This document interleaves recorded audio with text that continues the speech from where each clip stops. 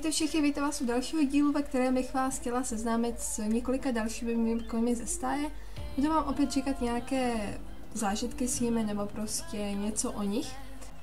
Nebudu to dlouho zdržovat a rovnou tedy můžeme jít na prvního koně. Jako první kůň, kterého tu mám, tak je Airfire. Říkám mu přezdívkou Aik, či Aida, tak to podobně. Je to westfálský kůň. Aika jsem si koupila hlavně kvůli jeho zbarvení. Moc se mi líbilo mít ryzáka. A myslím si, že i dneska se mi prostě líbí, vypadá úžasně, jako má třeba ty ponožky. Eh, je to tedy staré plemeno, jak můžete vidět, koupila jsem si ho někdy v roce, tuším, 2015, nějak tak plus minus. Mám ho opravdu dlouhou dobu, musím říct. A setkala jsem se s hodně lidmi, kteří se mi ptali, kdy jsem vlastně tohoto koně vzala, že ho ještě nikdy neviděli. Hlavně dnes, kdy tedy už uh, se neprodává na normálním místě. Myslím, že se prodával v Golden Hills. Myslím, že westfálský kůň vlastně ani nevím, jestli do hry někdy bude předán teď v novější době, nebo nějak renovován, těžko říct. Ani nevím vlastně, jak westfálský kůň vypadá upřímně. Star Song, tuším, jsem si koupila někdy v roce 2014. Myslím, že to byl kůň, který se vešel do mé top desítky prvních koní. Uh, vím, že jsem si koupila hned, když byla přidána. Toto je jeden z mála koní, které jsem si vlastně koupila hned.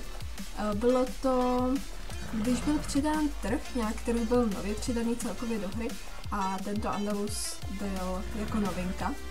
A stál, myslím, 890 Starkov, teď nejsem jistá. Spolu s ním ještě uh, byly přidány, myslím, plemena Sport Freeze, takže tam byly i různý Sport Freezeové. Ale mně se zalíbil tento Andalus, Star Song. Nekoupila jsem se i Sport Freeze, to jsem si koupila až mnoho déle. A do Star Song se nezamlovala asi kvůli jemu zbarvení, že ho má tak, uh, nevím, zvláštní, takové koučové, to říkám koučové zbarvení, nevím, jak se to nevím, palomíno se tomu to říká, nevím, ale já to říkám koučové zbarvení. Ale ze Star Wars mám takové vzpomínky, že to vlastně je kůň, jak jsem říkala v první top desíce, takže jsem si zažila takové ty věci, kdy jsem třeba hodně jezdila šampionáty, hodně jsem chtěla vyhrávat. Star Wars patřila mezi mé nejlepší koně na šampion, moc ráda jsem si ji brala a taky jsem si ji hodně vyhrávala. Další kůň je poník. Tomuto poníkovi říkám Glass, nebo Gláza. A jak můžete vidět, je to tedy Vega. A je to tedy kůň, který byl předán jako vlastně dvojník k Zonimu. A já nevím proč, ale tohle si poníky jako je Zony a Vega jsem si oblíbila neskutečným způsobem, asi kvůli tomu, jak mají uh, tu speciální zbarvení vlastně na hlavě. Já jsem se dočetla, že toto plemeno vlastně opravdu existuje, Zony. Je to tedy křiženec poníka a zebry. A jsem si, že tyto koně, jakožto křížence zebry, budou jedny z nejoblíbenějších koní na hře, ale neukázalo se, že asi ne. Kdyby se přidal, tak podle mě v roce 2014-15, aby se ho koupil úplně každý, si myslím. Ale dnes tak populární není. Vím, že pár lidí ho má, ale určitě není to takový koň, který ho by chtěl úplně každý. Já každopádně jsem ráda, že mám tyto speciální plemena a ráda si je kupuju a čekám, že Star Stable přidá zase nějaké takové a určitě si najde cestu do mé zase. Frost Hero je tedy kůň z řady Magicu. Toho, to jsem si koupila jako druhého Magica, prvního jsem si koupila Rainbow Crush. Uh, tento tedy se mění do modré barvy, ale určitě se mi tedy líbí víc, když je takhle v originální barvě, tak je tmavě šedý. A to je také důvod, proč jsem se koupila. Uh, asi nemám víc, co bych tomuto koni řekla. Ani si nepamatuju, že bych měla nějaké speciální vzpomínky s tímto koněm. Vím jenom, uh, že jsem tady chtěla všechny tyto mečky, jak tam jsou, ale nakonec jsem se tady rozhodla si koupit jenom dva, to černá jsem se nakonec nekoupila. Už je to nějaká doba, co tyto koně tu byly uh, přidáni poprvé. Dalo by se říct, že to je vlastně předělaný islandský kůň, tedy alespoň takhle si to lidé mysleli, když byl poprvé přidán tento kůň, on tady vypadá, je větší určitě a má jiné chody, vypadá trošku jinak Zase jsem ráda, že jsem si jako je koupila, dnes už bych si je asi nekoupila, i když nedávno byly přidáni. Neměla jsem úplně vůli si dalšího koupit, takže jsem ráda, že si je koupila dříve, když to bylo přidání poprvé a byla to vlastně novinka. Další kuň tedy opět Magic, dala si jméno Gigastar, asi můžete vidět kvůli její velikosti. Je to tedy jediný Magic, kterého mám z tohoto druhu, z těch vyšších, vlastně přidělených šíru by se dalo říct. Když byly předáni poprvé, tak jsem si chtěla koupit přesně tohoto, ale bohužel jsem zrovna na ní neměla Starcoins, takže jsem si říkala, že tady počkám, že přijde i příště. A když ho přidali po druhé, tak už jsem se ho mohla koupit.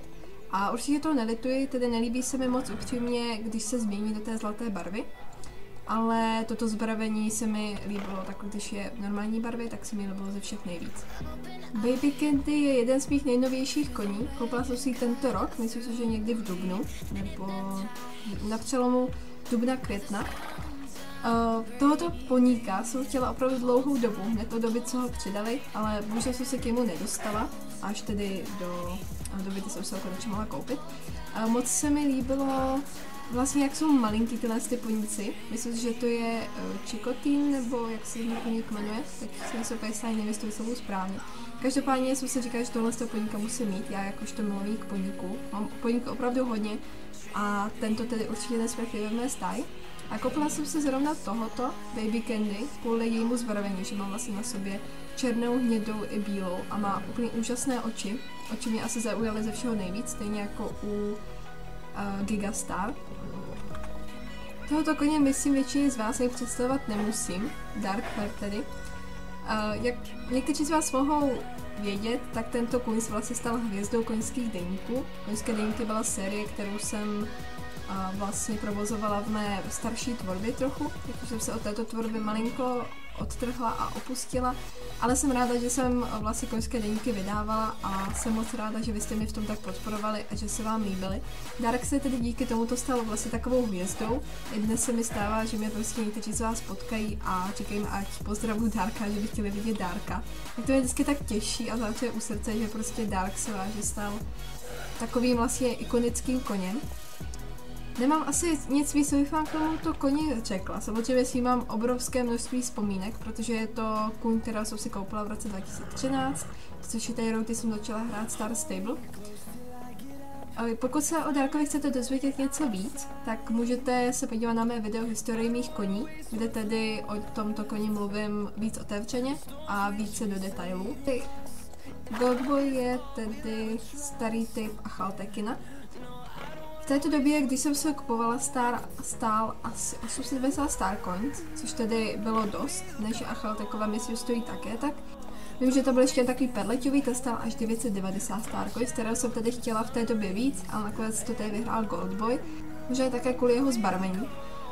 Goldboy zase byl kůň, kterou jsem moc ráda brala na šampionáty. V té době si myslím jezdil opravdu skvěle a vyhrávali jsme spolu je hodně. Zase je to kůň, kterou jsem si koupila v roce 2014, myslím si, že nějak na začátku roku.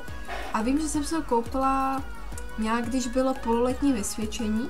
V té době v roce 2014 jsem byla už eh, v deváté třídě a e, za toto pololetí vysvědčení jsem si tady mohla koupit tohoto koníka. Byla, byla můj první Morgan vůbec, kterou jsem si koupila. Potom to koni jsem si chtěla koupit vlastně všechny ostatní Morgany, které byly na prodej.